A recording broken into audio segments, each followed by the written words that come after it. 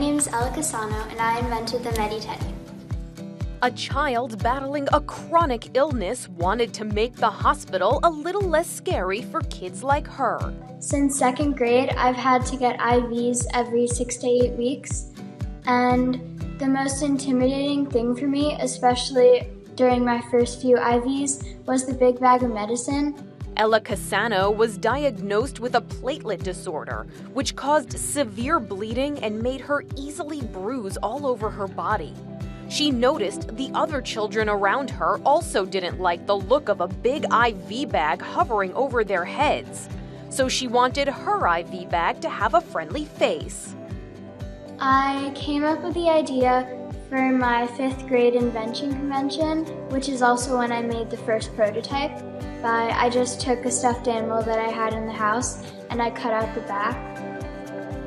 And then in sixth and seventh grade, I worked on developing a business plan and then actually turning it into um, a business in school. She calls her invention the MediTeddy.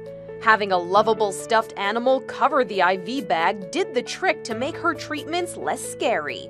She wanted to make MediTeddies available to other kids in hospitals, so she and her family found a company that would make 500 of them for $5,000. They turned to GoFundMe to raise the money, and it came pouring in well over $20,000. Next thing you know, her GoFundMe account has quadrupled.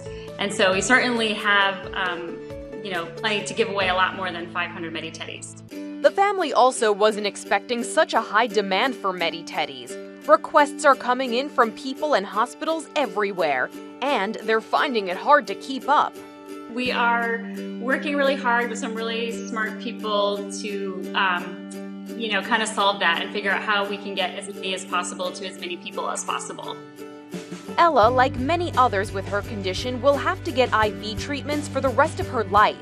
But now younger patients can at least have a more pleasant experience with IV bags. For InsideEdition.com, I'm Mara Montalbano.